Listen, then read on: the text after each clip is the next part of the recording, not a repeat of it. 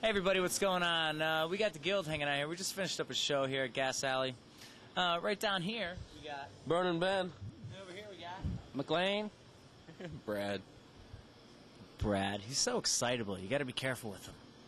Anyway, you don't got to be careful with this next band because it's fronted by Joran Oppelt, that guy that does everything around Tampa Bay, involved in the local music scene, Mecca Records, SMA, the Gita, blah blah blah.